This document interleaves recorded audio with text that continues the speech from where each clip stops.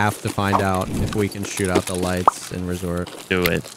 Do it. I have to know. Dude, the vaulting is so good. Yeah, it's It's clean. It's good. It's Like, good. I think that there will definitely be issues with like, oh, I thought I could vault up this, or I thought I could climb this and I couldn't. Like, there's going to be a few awkward things. But like, one of the things I gave a ton of feedback for in the ETS was you couldn't vault in or out of any of the windows in dorms. The entire dorms you couldn't do. And I, I vaulted in and out of like eight windows before I left customs.